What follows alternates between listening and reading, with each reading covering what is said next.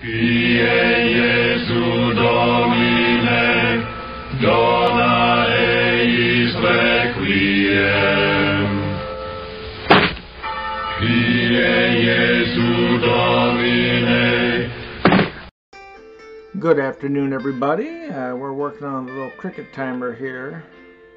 There we go. Still get a couple extra seconds on a Sunday afternoon. This is yesterday's missing upload on Hos- Hosea and the Gospel of Luke on what has probably become the most surreal Lent ever experienced.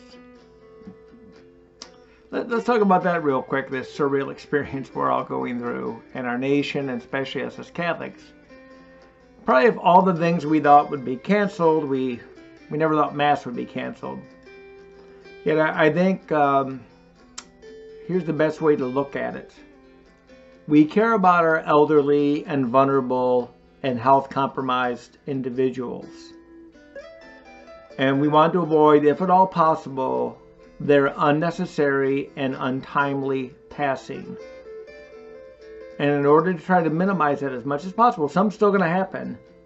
We have gone to these very unusual uh, methods to try to socially isolate and reduce a contamination of one another until we can at least wrap our heads around this and find ways to alleviate uh, the conditions of it. I, I know some people get it in the past, but we're all worried about the people that get it and don't survive. That is our number one concern. And so it causes this uh, really unusual thing where there's, uh, I was at Mass yesterday and I was the only one there. And it was the reading for Hosea about God desires mercy, not sacrifice. And then the reading from uh, St. Luke about the uh, tax collector and the Pharisee who go up to pray.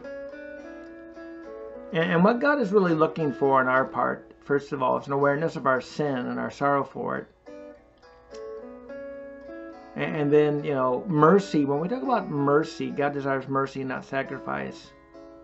Oftentimes, when God refers to mercy, it's not us seeking mercy from Him. He calls us to repentance. But more often in the Old Testament, when God mentions mercy, it's to our fellow neighbors, our fellow men and women.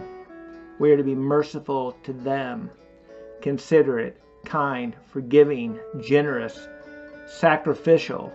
Those are the things God is really desiring. Because after all, the works of mercy, both corporal, which are in the Gospels, and spiritual, which have been discerned by the Church, are taking something we possess and giving it to others and granting them it in its absence. Food, water, shelter, clothing, a comfort.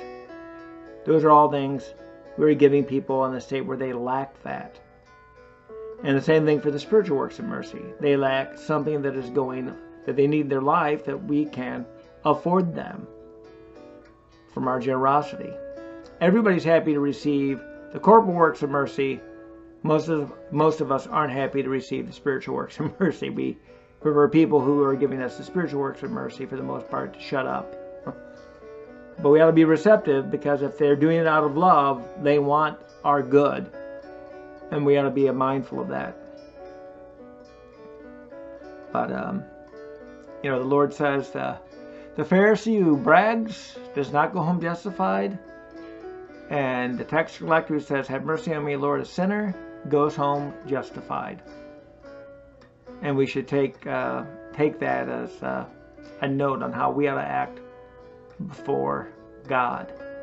And then truly be merciful to our neighbors. Let's take a little look at Hosea here, real quick.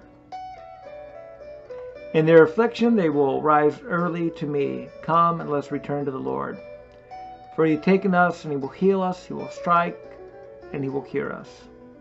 He will revive us after two days, and on the third day he will raise us up. We shall live in his sight. We shall know and we shall follow on, that we may know the Lord. His going forth is prepared as the morning light, and will come to us as the early and the later rain to the earth. I don't think this is the translation we used at Mass. Well, anyway, what shall I do to thee, O Ephraim? What shall I do to thee, O Judah?